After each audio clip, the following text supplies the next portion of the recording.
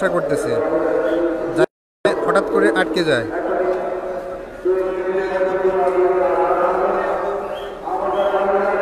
এখন ক্লিয়ার দেখতে পাচ্ছেন?